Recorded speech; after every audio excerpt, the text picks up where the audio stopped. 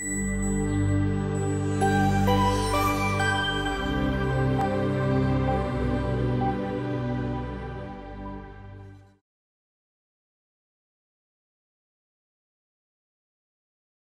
good morning, everybody.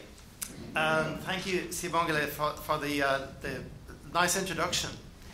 Um, I want to begin by, by thanking Lucia and the ILSI South Africa branch for the opportunity to join you today and share some thoughts. And, and I want to say before I start that the thoughts are my thoughts, so I'm not speaking for ILSI Europe, um, even though I've got some ILSI Europe background to share with you, uh, and, and not, not speaking for, for Nestle, so they're, they're purely my thoughts alone. So the challenge I think we have is to re-examine food, food safety and nutrition in the context of, of the current nexus between the environment, land, water, food, diet, and um, limited uh, resources, also, of course, um, complicated by the phenomenon of climate change. So I'm going to structure my talk, talk as follows. Um, building on what Dudu has already said, I, I, want to share with you some thoughts about what we do in ILSI Europe, the work we do, and, and maybe a few thoughts as well about um, ILSI worldwide, because I think it is a powerful organization with, with a very small um, real base resource, but because of the networks and because of its global reach, manages to achieve a, a great deal. Um, some thoughts about the changing reality uh, leading into, of course, what we now live in. We live in the Anthropocene, which is the currently recognized geological era brought about by humankind's activities on the planet. Um, some thoughts about the advancing sciences that are going to change everything about the way we live, societal advances and demands, and then the opportunities, the real key takeaway messages. What can we do about all of that? So, ILSI, you've already heard a little bit about ILSI. It's 40 years old next year, founded in 1978 um, in, in Washington, D.C. The ILSI Europe branch is now 31 years old, and the other branch is, is HESI, which is, which is 25 years old. Um, looking at, 26, at, at 2016, um, I think there was a remarkable number of achievements. This is just one slide summarizing what happened in the world of ILSI globally in 2016. So 119 different publications, peer-reviewed uh, in the scientific literature. 300 workshops and conferences, the um, meeting, which was previously called BESETO, BESETO means uh, a, an annual meeting between the uh, Beijing branch, the Seoul branch, and the Tokyo branch of ILSI. Now it includes Taiwan as well. So I'm, I'm not sure what they will call it in future, Besoto Thai, maybe. but, but again, it's, it's a collaboration in, in that Asian region on harmonization of regulations, on sharing know-how, risk assessment, nutritional assessment, etc. HESI, the Health and Environmental Sciences Institute, which is one of the 18 branches of ILSI worldwide, um, have a project called Thrive. And Thrive was named in 2016 one of the US White House moonshot participants.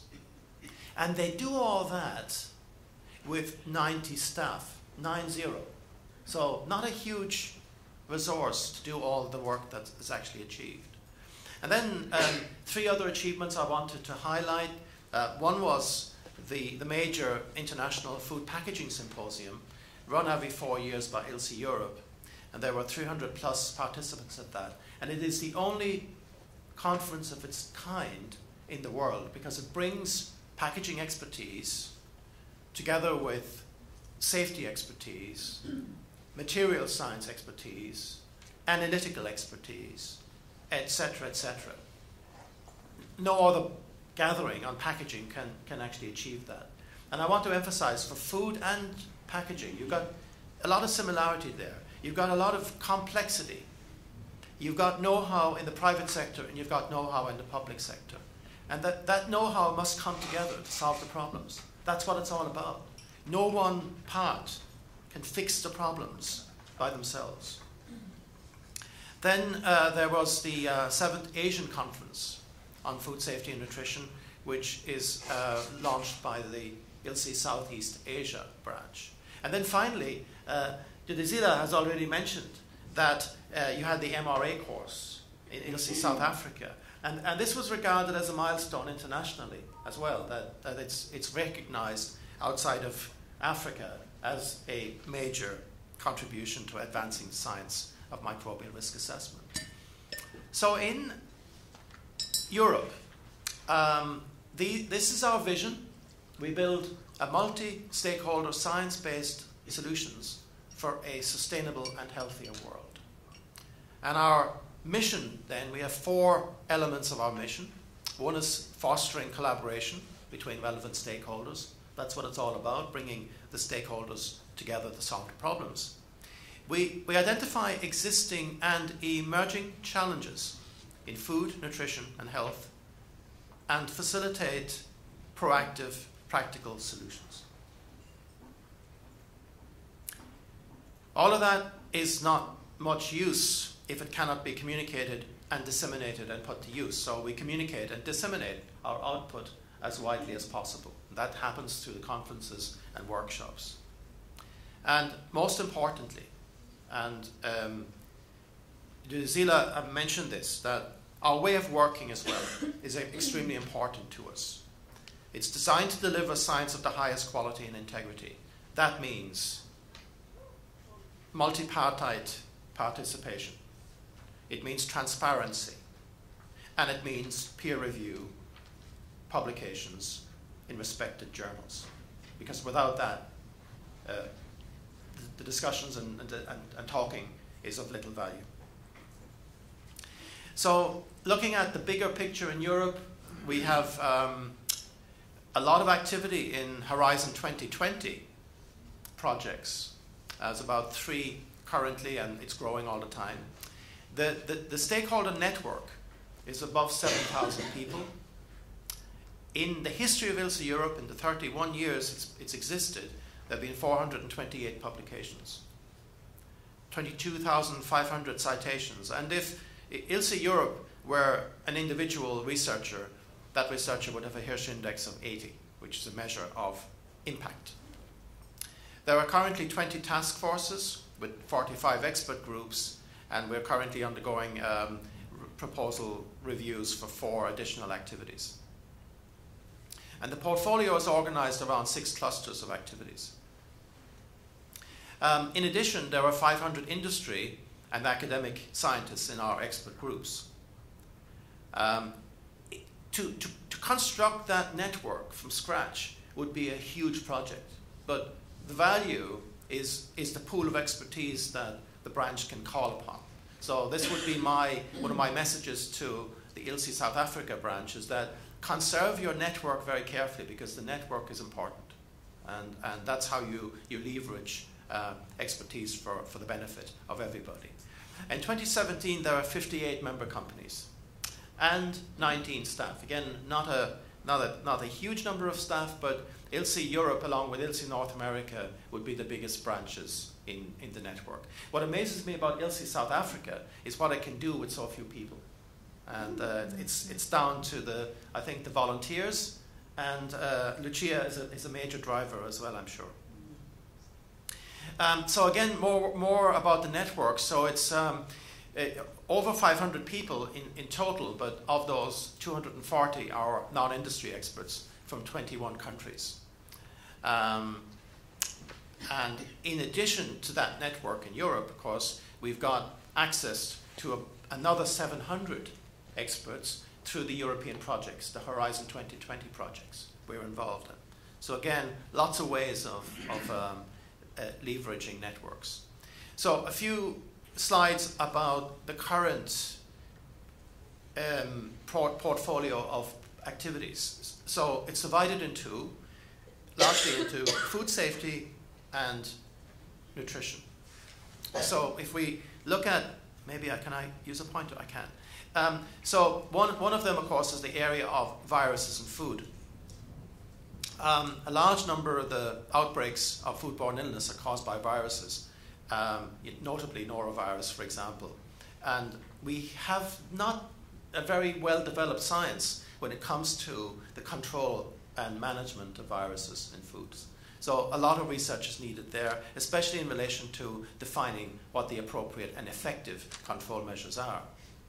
Um, looking at novel foods and uh, exploring uh, apps and barcode readers um, to see how we can actually um, better undertake dietary intake assessments.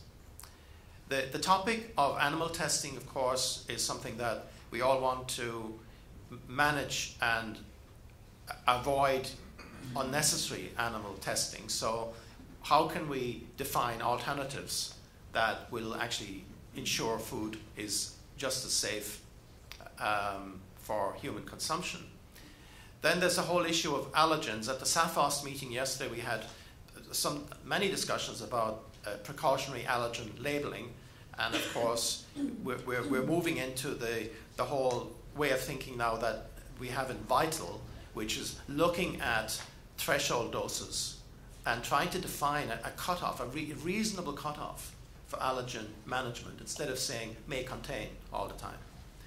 Um, the threshold of toxicological concern has now been around a long time. ILSI made a major contribution to the application of the TTC for the, for the um, in, in the area of food safety, and that's been extended to genotoxic carcinogens, and it's currently being, being uh, reassessed for that purpose. The area of high throughput toxicity testing, uh, you know, the whole area of what HESI calls Risk 21 uh, and Tox 21. How can we apply new tools to become even more precise about our chemical risk assessments in food? In the area of micro, the next tool, of course, is next generation sequencing, whole genome sequencing and metagenomics to better characterize the microbiological safety of foods. And now, the, the challenge there, of course, is that the technology is evolving faster than we can keep up in our ability to interpret the data. So, again, a great place for ILSI to be because we need a rapid response to this because it's going to be applied increasingly. If you look at the United States, FDA have already sequenced at least 50 or 60,000 isolates in, um, from factory environments. So again, the tool is in use. So let's get to work defining how it can be applied and interpreted. And then the whole area of mycotoxins, of course, uh, the mycotoxin menace, for want of a better word, hasn't gone away. Um, it affects at least 500 million people worldwide. And again, it keeps coming back. So, what measures can we use to mitigate uh, mycotoxin? Then in nutrition, um, the whole area of choice architecture is a big topic at the moment. Uh, you've heard about the nudge, and excuse me, can we nudge people to making better choices, healthier choices? That's a huge opportunity. The area of the microbiota, I'm, I'm talking specifically now of the gut microbiota, the gut microbiome, and especially in the first 1,000 days of life, can have determinative effects on health later in life. So, again, getting a better consensus and understanding on that because there are many points of view currently. Um, again, alternatives for animal testing. Animal testing crosses over from safety into nutrition models. Um, the area of prebiotics as opposed to probiotics and gut microbiota. The brain. You know, one of the big, big topics at the moment is the info cogno bio nexus, to speak of another nexus. And the aging brain, of course, is an area of active research at the moment. Can we, again, find consensus there? Uh, the probiotic area, still going strong. Low grade inflammation, chronic inflammation. Inflammation is at the heart of many chronic diseases. And of course, managing inflammation is something that we can make a contribution to in the context of diet and nutrition. And then markers of insulin sensitivity and secretion for early detection of diabetes risk. Rather than looking at the, the late markers, can we, can we move up in the disease process and propose early markers of pre-disease condition. And then leaving ILSI Europe, then this is our membership list for 2017. So 58 members, um, all very active. So I'm going to now take you into some thoughts about the, uh, the topic of the presentation, the, the food, nutrition, environment nexus. And I, I want to share this slide with you, which is my representation of perhaps some of the challenges facing us in, in the world of food today. We start with our goal, which of course is consumer health, trust, and confidence. That's why we're here. That's what our companies and our products depend upon most of all. What are the factors then imp- impacting upon that? Well, the social and cultural environment is, is shifting radically. Um, I was surprised when I started building these slides some time back that we, we were actually seeing more foodborne disease, not less. And, and let me say that, first of all, food is safer than it's ever been. Uh, remember that we doubled life expectancy in 100 years. So we're living longer than we ever did. Life expectancy, even for the less healthy, is also longer. A Down syndrome child in 1980 lived for 25 years, life expectancy. Down syndrome child today lives for 56 on average. So we've made huge advances. However, there are still some things happening that means our job, our work is not finished. Foodborne disease, well, there are factors around that. We, our monitoring is better, so our, our surveillance is improving. And also, you've got more vulnerable and susceptible people, so people uh, who are what used to be called YOPIs, young, old, pregnant, immunocompromised. So that, that means that you know, they're more susceptible to foodborne disease. There, there is a lot of distrust of food, and there is a lot of distrust of food manufacturers currently, which again is something to be addressed. And that can only take place over a, a, a period of time and a period of doing the right thing, doing the right thing the right way. Um, consumer expectations are changing radically. Just look in a store now, you've got all the free from products, free from gluten, free from lactose, free from wheat, etc., etc. And some are genuinely driven by uh, intolerances and, and sensitivities, some are driven more by perception. And consumption patterns, of course, are changing as a consequence. And we, we know little at this point in time what the consequences of that changing food landscape will have on long term nutrition and health. The media and the social media, we've moved from trust in institutions, institutional trust, to trust to something which, which could be called social trust. People are referencing their social environment more for information than the institutions that used to advise them before. The institutions being the governments, the academies, the companies. NGOs are very active, often on single topics, one topic at a time. Um, they can be forces for good and they can also sometimes get it wrong. Crowdfunding, crowdsourcing. So this is a, something we saw increasingly where you know, somebody can get an analytical research project done by, by going to the internet and saying, please fund my, my, uh, my analysis with, with consequences that are not all, always easy predictable. And the new, the new field of food ethics, um, what's acceptable, not acceptable, is changing all the time. Then on the business side, um, there, there is an increasing number of food recalls, uh, certainly in the US and some other parts of the world as well. And I read one place that there's up to one up to a six going on any one time in the US. Now, the question you have to ask yourself is that sustainable? I don't think it is from a business point of view. So we've got to we've got to cut back on recalls. We've got to get to a point where we're preventing the problems, not reacting to them. Uh, if you look at the World Economic Forum Global Risk Report, which is published every year, they predict that there may be more food and water crises in the world in the future. A gloomy picture. Um, food fraud is a big deal. It's up to a 50 billion US dollar industry worldwide every year. That was the, the topic I spoke about yesterday at SAFOS. So, so food fraud is global. And again, because of the complexity of trade and the complexity of consumer demands in the food environment, that's likely to increase as well uh, before we get, uh, we, we get that under control. There's the complexity of doing business, and then the costs are increasing. So margins shrinking and costs are increasing. Also, the costs of getting things wrong uh, are going through the roof. Remember, melamine cost 18 billion US dollars, the melamine contamination in China.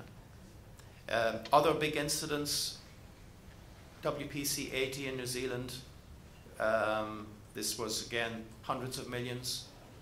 Um, some of the big US recalls were in the hundreds of millions. So it's very easy now to be in the hundreds of millions when you've got a safety problem or a recall. Moving to science and technology, so we are seeing unprecedented advances in sciences, especially around tools like whole genome sequencing, uh, big data analytics, um, agri-food technology, the use of um, precision agriculture, the use of drones in agriculture. These are good things. Uh, but, but also, you've got on the other hand, new science telling you things that you didn't know before. A classic example was the revelation that artif some artificial colors could potentially cause hyperactivity in children. This was the so-called Southampton study in the UK. So again, it changes, it changes, you have to change your thinking when you get data like that. And then analytical technology, which will easily take you down to parts per trillion uh, for contaminants. You suddenly see something that you didn't know was there. You've got to, you challenge your risk assessments to tell you what does it mean. Um, in the area of environment, we've heard much about that at the, at the SAFOS meeting. 70% uh, of fresh water in the world is used for agriculture and dwindling. So is that sustainable? Probably not. So we've got to use water more wisely. The Western Cape is currently suffering from a, a, a water challenge, uh, as well as many other parts of the world. Some rivers no longer make it to the sea. The Colorado River, for example, rarely makes it to the sea now because of diversion for human use. Um, we've got climate. So climate change, people think, think of it as 2050 and beyond. Well, the impacts on crop yields are already happening. And the, the consensus, I think, is that we will see impacts on some crop yields already. On average, worldwide, it will decrease crop yields, but some regions of the world will actually see increased crop yields. So there'll be winners and losers. Um, and un unfortunately, uh, the winners probably already are well off. They don't need extra yields, and those who need extra yields may, may actually see the opposite. Um, we're, we're seeing dwindling bioresources. 40% of the land of the world is dedicated to agriculture. Again, questioning whether that's sustainable. According to the FAO, 30% of the soil in the world is degraded currently significantly. And the predictions are that unless something's done about soil integrity, all of the soil in the world could be significantly degraded by 2050. And soil, without soil, you don't grow anything. Well, you, you could, you could go to hydroponics and other, other systems. However, soil is a big deal.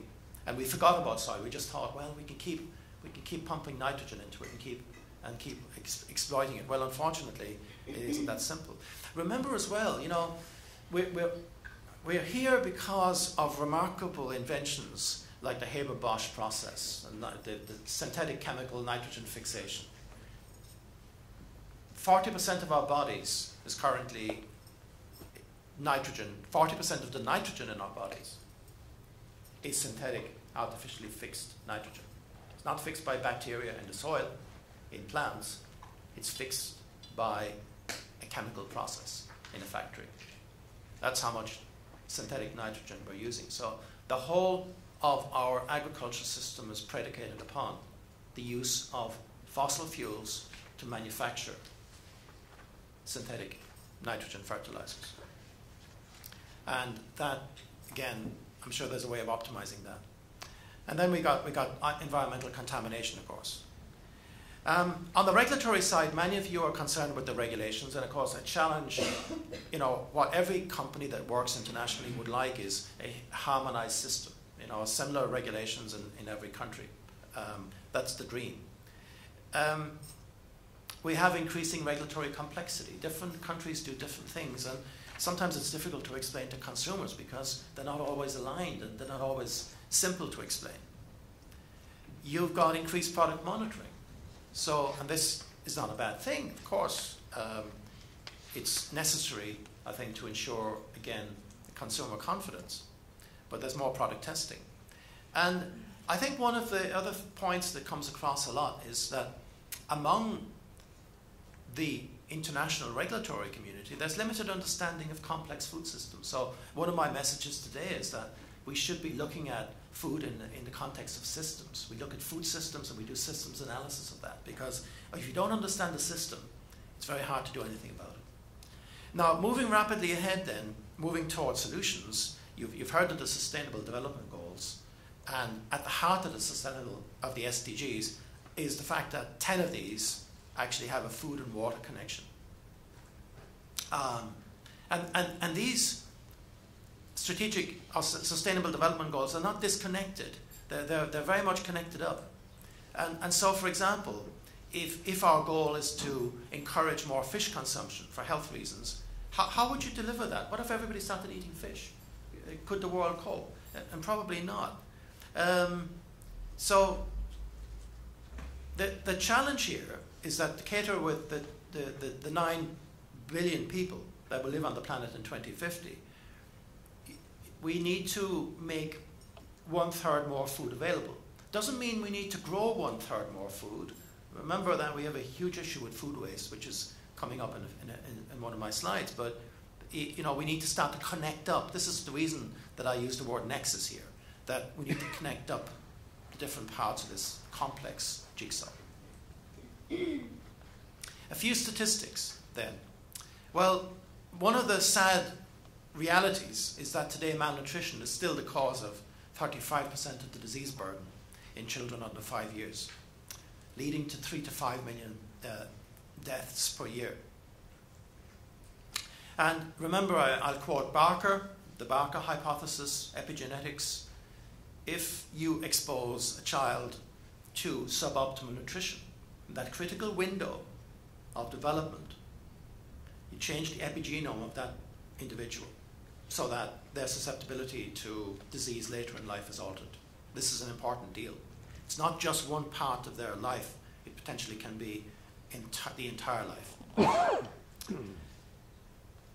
um, obesity, of course, is a major topic. Today, one out of three is overweight or obese. That's 120 million in the US and 20% of people under 18 in China alone. Allergy is a big topic, and allergy, of course, now I'm, I'm, I'm including in this skin, food, respiratory allergies, all types of allergy affects one in four people. And it's forecast to increase. And again, food can actually do something about that, directly and indirectly. And then finally, in this sequence, looking to 2050, one in five people will be over the age of 65 in 2050. So, huge burden coming on the health systems of the world, which will have to be addressed. Can health alone, healthcare alone pay? Probably not. We will need to work more on prevention and maintaining healthy life years. And food has, a, a, of course, a big role to play in that. So, some vital statistics building on those slides. Um, just to let you know that as of, I think it was 2015, there are now more urban dwellers in the world than rural population. And the ur- urban dwellers will increase, I think, to something like 70% of the world's population by 2050. So, how do you move the food to them? How do you provide nutrition? How do you provide water? And so on. So, it changes the game of food quite a lot. Another, maybe quite shocking statistic is that mortality due to non communicable diseases is now greater than that from infectious diseases. According to the WHO, the diet related risks are now greater than those from tobacco, unsafe sex, and drugs combined. Um, another interesting statistic that I, I was quite surprised by is that the number of obese people in the world is, is vastly greater now than the number of underweight. And this changed in a, in a short period of time, something like 20, 20 to 40 years. You went from uh, double the number of underweight to, to quite the opposite. 800 million people in the world are undernourished, and 2 billion suffer from a micronutrient deficiency, the so called hidden hunger. So, hidden hunger affects one third of the world population. And then on the micronutrient side, 5.2 million cases of preventable blindness due to vitamin A deficiency in 2011, 157,000 deaths attributable, attributable to vitamin A deficiency. 82% of children under two years are anemic. We're talking globally now. 2 billion at risk of, of, of zinc deficiency, and, and, and what I didn't know was that 450,000 deaths a year uh, are attributable to zinc deficiency. These are simple, preventable conditions. Um, on obesity, uh, if you want to read up on it, there's an interesting paper in The Lancet, again going into the details of this and doing some projections. Um, if food trends continue, the, the likelihood of meeting the global obesity target is, is quite low and probably, in, in the words of the authors, impossible. In fact, they're predicting that obesity prevalence will reach 18%. That's obesity now, not overweight. Um, the global increase of BMI has not slowed down, but it has in some parts and, and, and has increased in others. So this is the, the thing, you've got this difference between different parts of the world. And, and the other in interesting conclusion of that report was that high BMI alone will signify different risks for different parts of the world because the access to healthcare and pharmacotherapy differs. So that having a high BMI in one country, one region, may not actually carry the same risk as having a high BMI in another part of the world. Few words on the Anthropocene. So it's official. We live in, in this, this new era. And what makes me somewhat upset is that in, in my lifetime, I, I read Rachel Carson's Silent Spring when I was growing up and all the other literature around it. And a lot of the predictions were gloomy and they never came to pass. So I thought, fine, great. But then you start reading what's happened in the past 20 to 40 years. And one, one example of how dramatic the changes have been is the Great Barrier Reef. Half of the Great Barrier Reef has actually been destroyed since 1980. It's not a long time ago. So these are quite dramatic changes. We've possibly done more damage to the planet in the past 40 to 50 years than has ever been done before. Food waste, um, if we cut food waste in the world, it would cut the food gap, gap that we're going to have in 2050 by at least 20%, maybe 30%. But it is a reality that one third of food is wasted currently. Waste means in the hands of the consumer after, after production.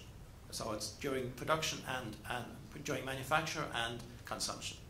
Um, that doesn't include what we would call food loss so food losses refer to the, the pre-manufacturing step. So that would be in the, in the agriculture phase. So a lot of food is lost today and wasted. That can be prevented. It means 24% of calories are wasted, um, or 1.3 billion tons, with a value of $1 trillion worldwide per year. Um, the Sustainable Development Goals have set a target for 50% reduction in food waste. And one other dramatic, of course, effect is the fact that 30% of greenhouse gas emissions are attributable to agricultural activities. 10 to 15% of annual greenhouse gas emissions are attributable to deforestation. And deforestation, remember, is also taking place because of feed and food. Um, so we're going to have to get on top of this issue of the increase in animal product consumption, because that's also an unsustainable reality. 80% projected increase in consumption of animal products by 2050. Do we have the land to grow the feed and the water to uh, feed those animals? Good question. In beef alone, the projected increase is, is 90%, um, which of course will, will drive the, the whole consumption of animal protection products because if you have that many animals, uh, you, need to, you need to use more antibiotics. It's projected that antibiotic use will increase by two, by two thirds between now and 2030. More if we grow more pigs. So I'm going to, how much time have I got, uh, I'm okay on time? Yeah. So some, some ways forward. We need to change consumption patterns and we need to reduce waste. And some of it is simple habits. You know, I, I, I've become aware since arriving in South Africa of not letting the tap run. Where I come from, we, we've got a lot of water, so you don't think about letting the tap run. Here you have to change your habits. So we need to educate people to, to start exercising good habits when it comes to food. Recycling is important. So the circular economy, making sure that we're not wasting materials that we, we could recycle. A good example there would be waste products used to produce insects, which could be then used as food or feed. Uh, you can now use insects in Europe for the feeding of fish, of uh, fish farms. Why not? That's what fish eat. Um, poultry eat insects all the time.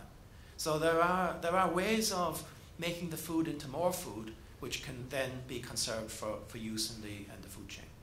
Precision agriculture, where you, you know, on a meter by meter basis, you apply the right level of fertilizer, the right level of water.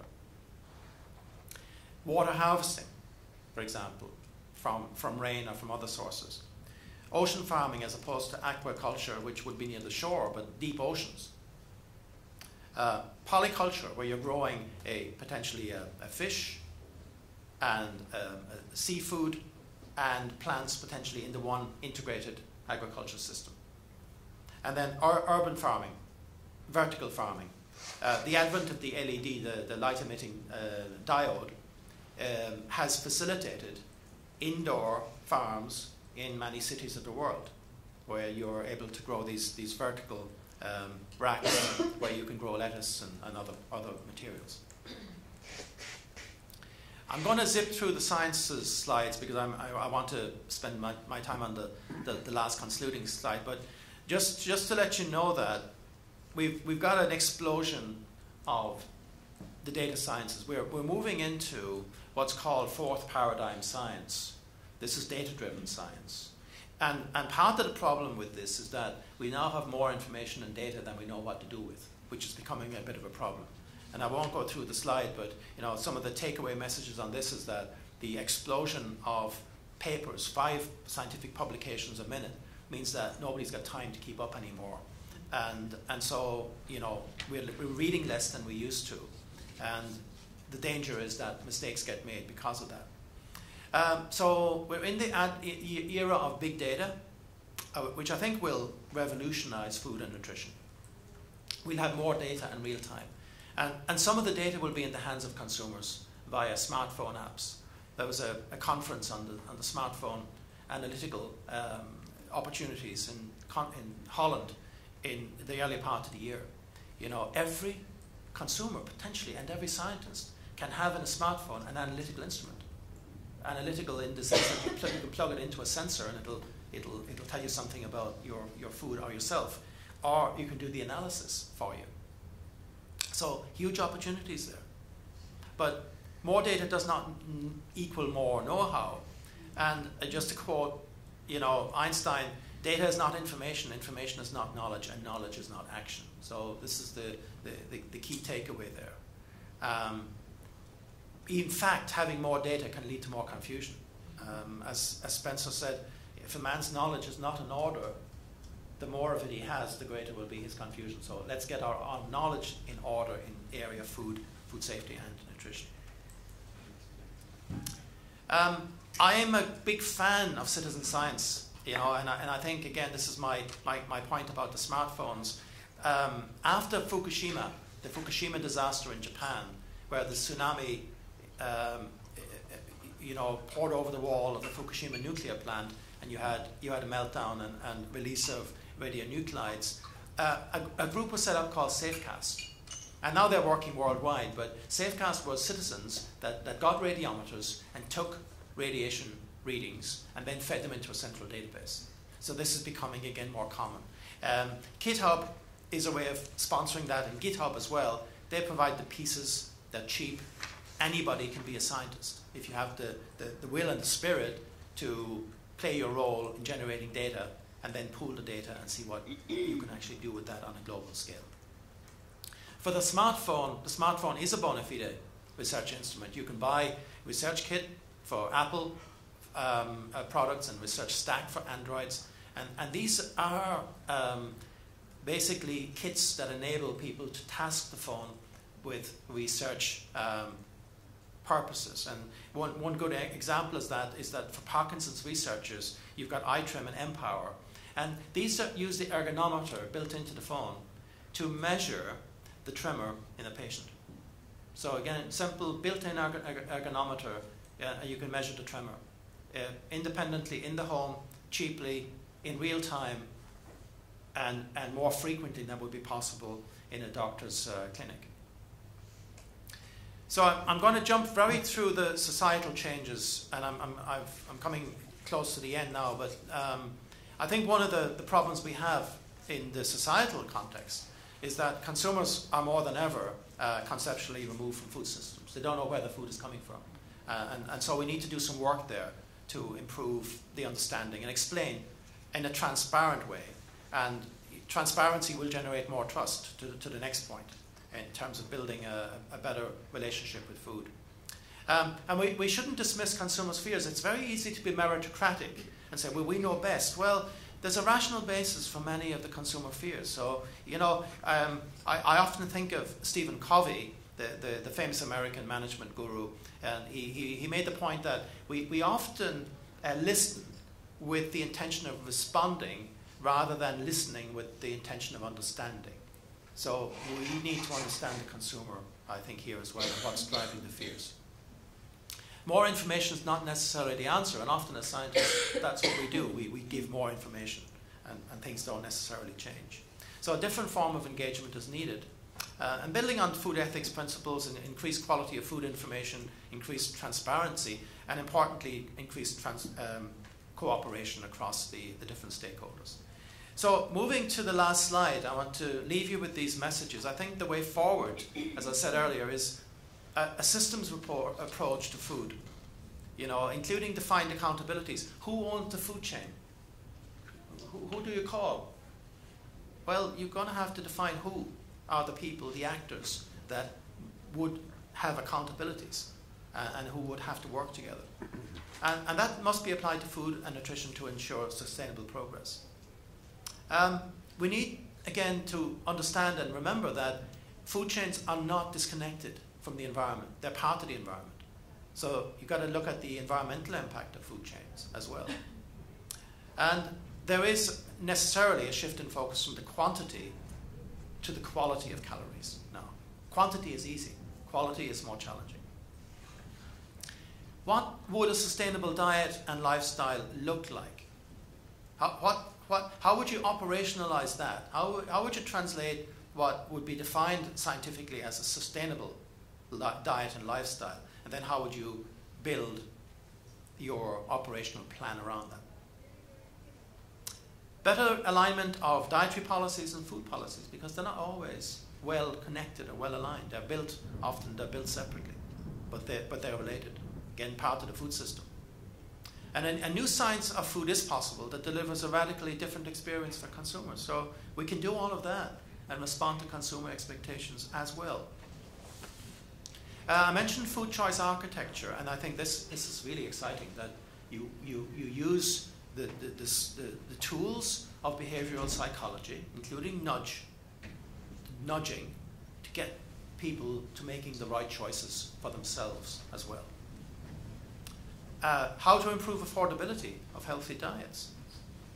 And reduction of food waste supported by food safety standards. Can, how can you do that? Well, for, for instance, much food is discarded because people believe it to be expired or, or no longer safe. It's past its best before date. Well, it may still be perfectly safe. So we need, again, to address the unintentional effects of some of the regulations we have and some of the standards we have when it comes to food waste. And then the final point is that it's all about one thing. It's all about relationships. And this, this is why it's so important at an ILSI meeting to leave this message. It's about relationships between data, systems, people, businesses and consumers. Thank you very much.